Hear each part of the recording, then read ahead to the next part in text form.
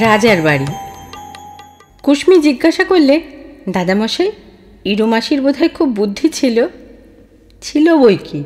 তোর চেয়ে বেশি ছিল। থমকে গেল কুশ্মি অল্প একটু দীর্ঘ নিঃশ্বাস ফেলে বললে, ও, তাই বুঝি তোমাকে এত করে বশ করেছিলেন? তুই যে উল্টো কথা বললি রে, বলি বুদ্ধি দিয়ে কেউ কাউকে বশ করে? তবে, করে অবুদ্ধি দিয়ে। সকলেরই মধ্যে বাস করে একটা বোকা। সেইখানে ভালো করে বোকামি চালাতে পারলে মানুষকে বশ করা সহজ হয়। তাই তো ভালোবাসাকে বলে মন ভোলানো। কেমন করে করতে হয় বলো না? কিচ্ছু জানি না। কী যে হয়, সেই কথাটাই জানি। তাই তো বলতে যাচ্ছিলুম। আচ্ছা বলো।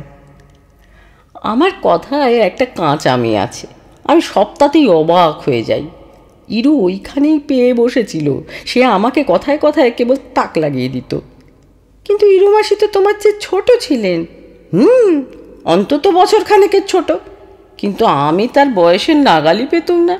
এমন করে আমাকে চালাতো যেন আমার দুধে দাঁতই ওঠেনি। তার কাছে আমি হাঁ করেই থাকতুম। ভারী মজা তো? হ্যাঁ মজা বই কি?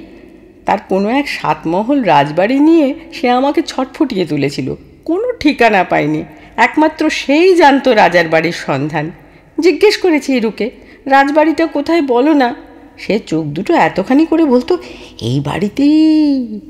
আমি তার মুখের দিকে চেয়ে থাকতুম হাঁ করে। বলতো, এই বাড়িতেই? কোনখানে আমাকে দেখিয়ে দাও না? সে বলতো, মন্তর না জানলে দেখবে কি করে?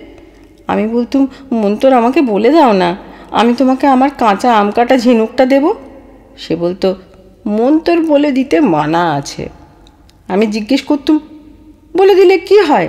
সে কেবল বলতো, ও বাবা, কি যে হয় জানাই হলো না। তার ভঙ্গি দেখে গা শিউরে উঠত। ঠিক করেছিলুম, একদিন যখন ইরু রাজবাড়িতে যাবে, আমি যাব লুকিয়ে লুকিয়ে তার পিছনে পিছনে। কিন্তু সে যেত রাজবাড়িতে, আমি যখন যেতুম স্কুলে। একদিন জিজ্ঞেস করেছিলুম, অন্য সময় গেলে কি হয়? আবার সেই, ও বাবা! পিড়াপিড়ি করতে সাহসে কুলেতো না। আমাকে তাক লাগিয়ে দিয়ে নিজেকে ইরু ভয়ানক একটা কিছু মনে করতো। হয়তো একদিন স্কুল থেকে আসতেই সে বলে উঠেছে ও সে কি পেল্লায় কাণ্ড! ব্যস্ত হয়ে জিজ্ঞেস করেছি, কি কি কাণ্ড? সে বলেছে, বলব না। ভালোই করতো। কানে শুনতুম কি একটা কাণ্ড? মনে বরাবর রয়ে যেত পেল্লায় কাণ্ড। ইরু গিয়েছে হন্তদন্তর মাঠে যখন আমি ঘুমোতুম। সেখানে পক্ষীরাজ ঘোড়া চড়ে বেড়ায়। মানুষকে কাছে পেলে একেবারে উড়িয়ে নিয়ে যায় মেঘের মধ্যে। আমি হাততালি দিয়ে বলে উঠতুম, সে তো বেশ মজা। সে বলতো মজা বই কি? বাবা কি বিপদ ঘটতে পারতো শোনা হয়নি। চুপ করে গেছে ওই মুখের ভঙ্গি দেখে। ইরু দেখেছে পরীদের ঘর কন্যা সে বেশি দূরে নয়, আমাদের পুকুরের পূব বাড়িতে যে চিনে বট আছে, তারই মোটা মোটা শিকড়গুলোর অন্ধকার ফাঁকে ফাঁকে। তাদের ফুল তুলে দিয়ে সে বস করেছিল। তারা ফুলের মধু ছাড়া আর কিচ্ছু খায় না। ইরুর পরিবারই যাওয়ার একমাত্র সময় ছিল দক্ষিণের বারান্দায় যখন নীলকমল মাস্টারের কাছে আমাদের পড়া করতে বসতে হতো। ইরুকে জিজ্ঞেস করতুম অন্য সময় গেলে কি হয়? ইরু বলতো, পরীরা প্রজাপতি হয়ে উড়ে যায়।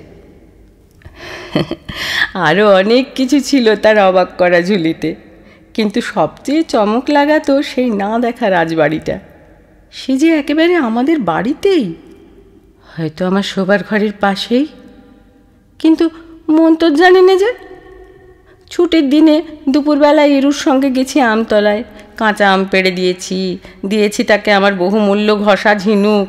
সে খোসা ছাড়িয়ে শুল্প শাক দিয়ে বসে বসে খেয়েছে কাঁচা আম। কিন্তু মন্তরের কথা পারলেই বলে উঠেছে, ও বাবা! তারপর মন্তর গেল কোথায়? ইরু গেল শ্বশুর বাড়িতে আমারও রাজবাড়ি খোঁজ করবার বয়স গেল পেরিয়ে। ওই বাড়িটা রয়ে গেল গড় ঠিকানা। দূরের রাজবাড়ি অনেক দেখেছি। কিন্তু ঘরের কাছের রাজবাড়ি? ও বাবা!